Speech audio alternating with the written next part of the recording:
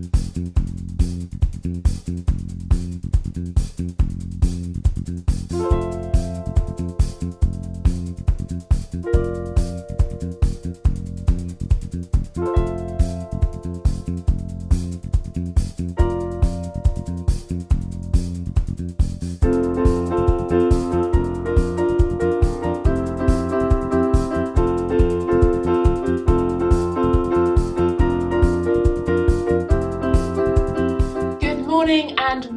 to our online service. We're really glad that you could join us. As we gather to worship in homes across Whitchurch, Cardiff, and further afield, let's begin by praying together. Father God, we come into your presence with thanksgiving, deeply indebted for the unfailing love and faithfulness you have shown towards us. We come to you as the source and centre of all our hope, our Creator, Sustainer, and ever present Helper. We come wanting to trust you more, ready to confess the poverty of our faith, grateful that you welcome us just as we are. And so we come before you, offering you the worship of our hearts and lives. Open our eyes to see and know your presence with us. Open our ears to recognize your voice, that we might walk in the way of your truth and love. Amen. We're now going to hear today's psalm, which is Psalm 138, brought to us by a few of those who joined us in the Ark last Thursday. And then we're going to have our first song, Give Thanks to the Lord. I will praise you, Lord, with all my heart. Before the gods, I will sing your praise. I will bow down toward your holy temple and will praise your name for your unfailing love and your faithfulness. For you have so exalted your solemn decree that it surpasses your fame. When I called, you answered me. You greatly emboldened me. May all the kings of the earth praise you, Lord, when they hear what you have decreed. May they sing of the ways of the Lord, for the glory of the Lord is great. Though the Lord is exalted, he looks kindly on the lowly. Though lofty, he sees them from afar. Though I walk in the midst of trouble, you preserve my life. You stretch out your hand against the anger of my foes. With your right hand you save me. Lord will vindicate me. Your love, Lord, endures forever. Do not abandon the works of your hands.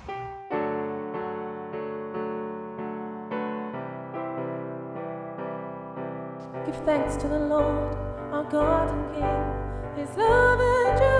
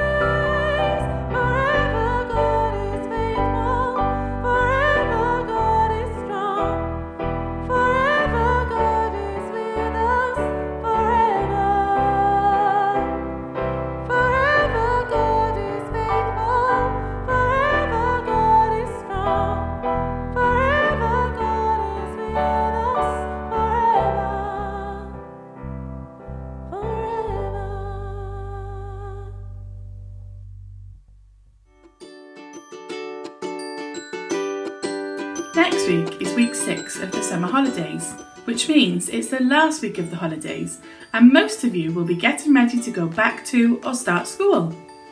It's been a strange summer holidays this year. Maybe you haven't been able to go on holiday. Perhaps you haven't seen your friends as much, but I'm sure you've still been able to make some great memories with your family. How are you feeling about going back to school? Let's take a look at some of the things you've said.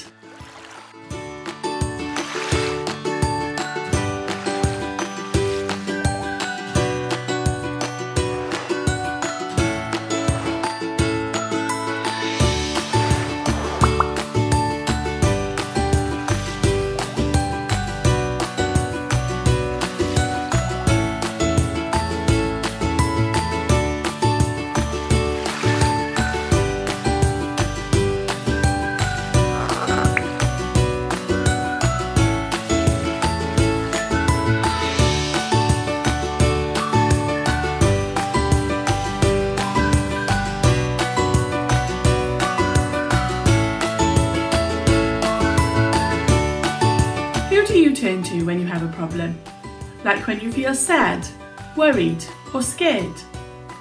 Parents or adults that you live with are always a great source of comfort and someone you can trust. Another place to turn to is God. As Christians, we have the gift of being able to turn our problems over to God.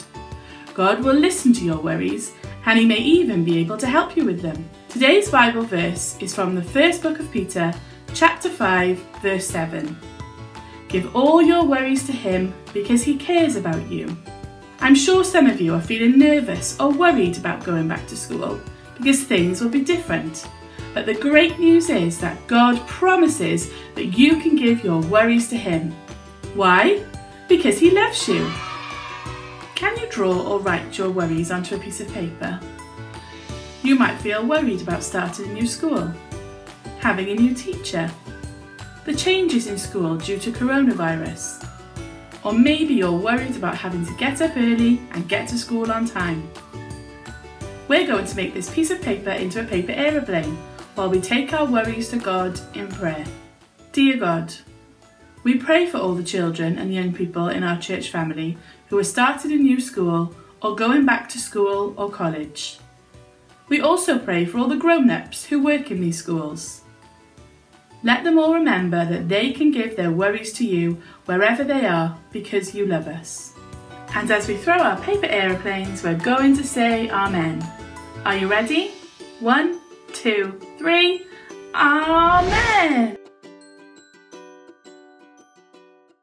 Last week we finished looking at some of Paul's prison letters, and now we've got a couple of weeks before we start a new series in September.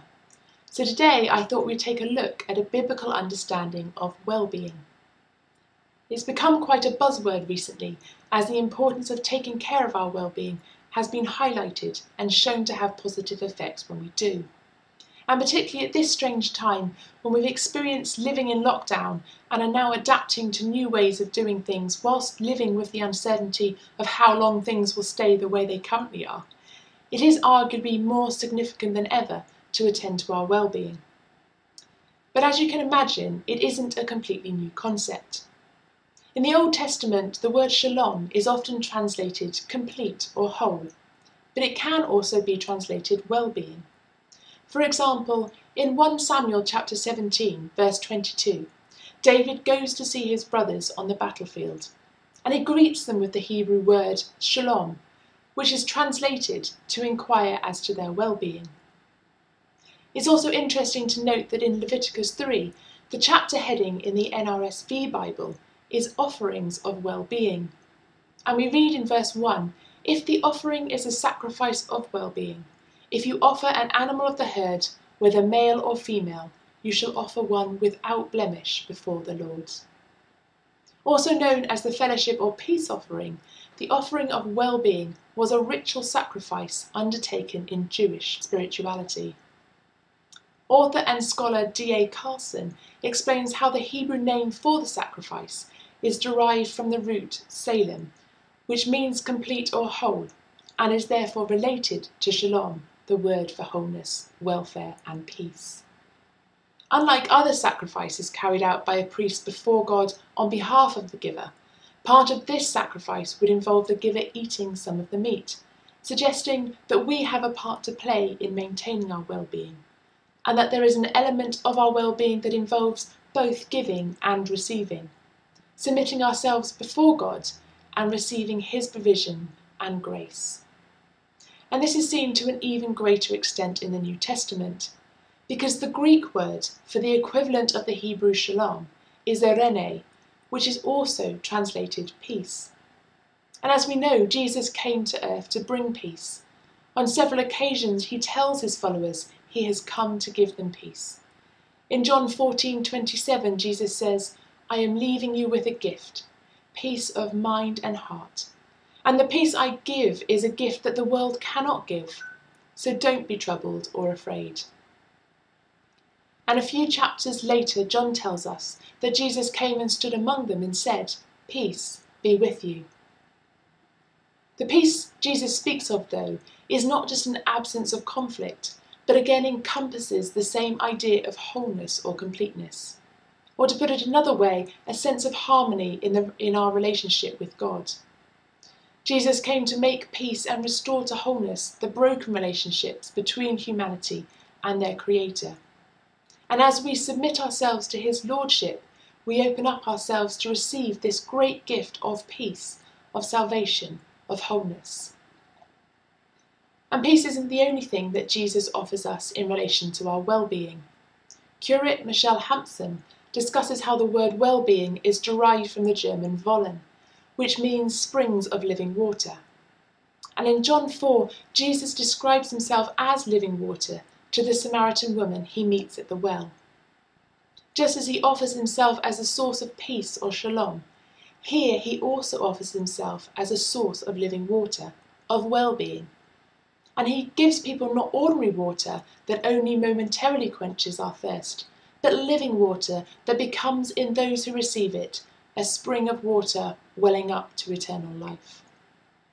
So, biblical well being isn't just limited to the here and now, it goes on into eternity. Jesus came to bring shalom with no end, making right all wrongs and healing all that has been broken. The word Wollen also relates to abundance or fullness, and Jesus further says in John 10:10 10, that he has come that we may have life in all its fullness, a complete life, a life lived in light of the shalom Christ offers. And Jesus not only invites us to experience shalom through him, he also offers us a model of how to achieve it. Let's take a quick look at Matthew chapter 14. Jesus had had a busy day. He had learned about the death of his friend John the Baptist and tried to withdraw to a deserted place by boat, but was followed on foot by a large crowd. And having compassion for them, he cured their sick, and then he miraculously fed them all with just five loaves and two fish. I'm sure you remember the story well. But then we read in verses 22 and 23 immediately he made the disciples get into the boat and go on ahead to the other side, while he dismissed the crowds. And after he dismissed the crowds, he went up to the mountain by himself to pray. Having looked after others all day, he doesn't forget to look after himself. He ensures he takes the time he needs to be with his Father, to pray, and to share the load and burden of the day. And this isn't the only time we see Jesus do this. Jesus often withdraws from people, from activity, from the demands placed on him by others, in order to take time to rest and to be renewed by spending time with his Father is how he began his ministry. It's how he made important decisions, how he dealt with the troubling emotions like grief. It's how he dealt with the constant demands of his ministry, how he taught his disciples, how he prepared for significant events. It's even how he prepared for his death on the cross. But he doesn't just spend time on his own. We also read about times he accepts hospitality from friends, like in Luke 10 when Martha opens her home to him times he spends with his twelve disciples, like the Passover meal, and times when he was just with his inner circle of friends, Peter, James, and John, like at the Transfiguration. Jesus obviously had different levels of friendships, allowing for him to share more or less of himself as he needed. And well being does have a social dimension to it. We all need to feel loved and cared for. So it's good to have people you know you can just be with, people who you can talk to if you need to, people with whom you feel comfortable in your own skin. So we've seen how our relationship with God is important for our well-being, as are our relationships with others. But we can't forget our relationship with ourselves. Being at peace with ourselves is also crucial to our well-being. Jesus knew who he was. He was clear about his purpose. He wasn't reliant on other people's opinions to give him his sense of well-being. And we too need to live in the light of our identity as those known and loved by God, as those who choose to trust Him and His ways. Maybe this is in part why Jesus tells us in Mark 12, verse 30, to love the Lord our God with all our heart, and with all our soul, and with all our mind, and with all our strength. Because when we do this, we not only give God the honour He deserves, but all of us will be in sync too, working together as a whole thereby aiding our well-being. Which means we'll also be ready to receive the wholeness, the fullness of life, and the ability to find peace, whatever we are going through, that is only found in Him. In several places, the Bible seems to suggest that it is possible to maintain our well-being in all circumstances, but in practice, this is not easy to achieve because our circumstances have the potential to negatively affect our well-being but we are given many invitations to draw on God's provisions to help us. In Matthew 11, verses 28 to 30, it says, Come to me, all you who are weary and burdened, and I will give you rest. Take my yoke upon you and learn from me, for I am gentle and humble in heart, and you will find rest for your souls. For my yoke is easy and my burden is light. And as Rachel shared with us earlier in 1 Peter chapter 5 verse 7, it says, Cast all your anxiety on him because he cares for you. And one you might remember from the last few weeks in Philippians, do not be anxious about anything, but in every situation, by prayer and petition, with thanksgiving, present your requests to God. Our weaknesses, concerns, the situations we find ourselves in need not diminish our well-being. In fact, the opposite can be true, as they are opportunities for God's grace and power to be revealed, as Paul acknowledges in 2 Corinthians 12:9. It says this, But he said to me, My grace is sufficient for you, for my power is made perfect in weakness. Therefore I will boast all the more gladly about my weaknesses, so that Christ's power may rest on me. Well-being is something that does affect us all. Often people link it with mental health, and of course our mental health will have a direct impact on our well-being. But our well-being is not limited just to our mental health, as we've already seen. And there is much more that could be said specifically about mental health, but we will leave that for another day. This quick biblical exploration has shown how Christians understand well-being as related to God's gift of peace, fullness, and ultimately salvation. But it's interesting to note that the World Health Organization states that well-being is a state of complete physical, mental, and social well-being, but misses out the spiritual completely, despite all the evidence that this also promotes well-being. You may have heard of the five ways to well-being, which is a list of five activities compiled on the advice of over 400 leading experts, as they believe these activities help those who do them regularly to positively maintain their well-being. They are connecting, ongoing learning, keeping active, taking notice and giving. Although each of these are useful in themselves, a number of people, including Ruth Rice, Director of Renew Wellbeing, have demonstrated how they can also be applied in a spiritual way. So what might this look like for us? Well, firstly, we can ensure we stay connected with God in prayer and regularly connect with family and friends. This may also mean connecting with those we may have had grievances with, because as we've already seen, when our relationships are out of alignment, we no longer have that sense of wholeness, and so we need reconciliation and restoration to bring shalom.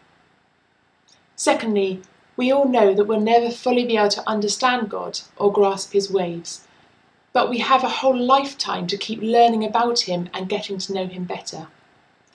This may be through individual Bible study and learning together in a small group, as well as learning collectively through the witness of a church fellowship. Thirdly, there are many ways and opportunities to remain active through Christian service. There are no age limits or restrictions, so why not think about what you enjoy doing and do it joyfully for the Lord? But there is a flip side to this one, as it's also important to take time to rest and just spend time with God as Jesus modelled for us.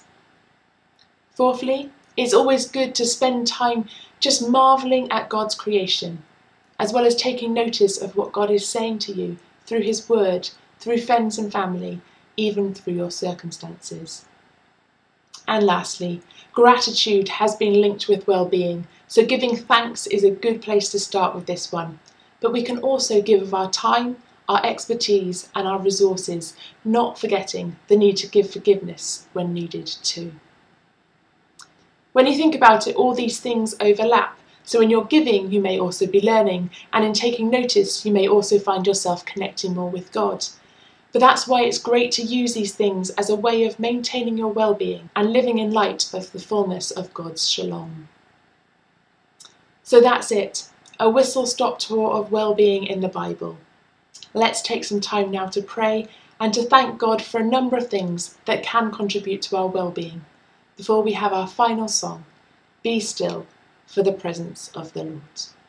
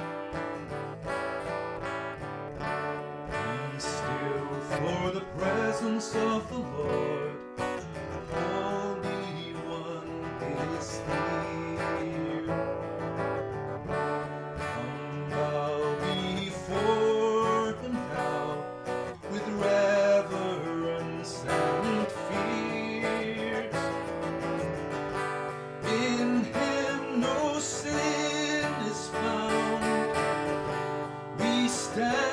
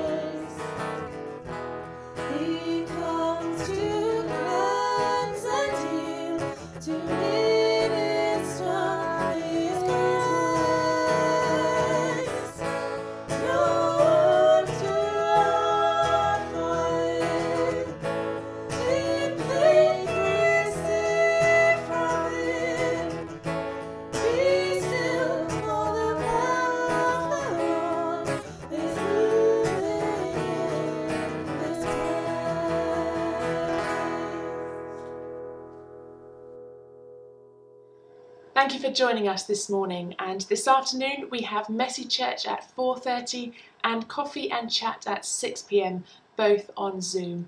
Do get in touch if you'd like those details. And today we finish with a blessing from Renew Wellbeing. May the God of all peace make you whole and holy. May he keep you in his shalom, body, mind and spirit, ready for his presence.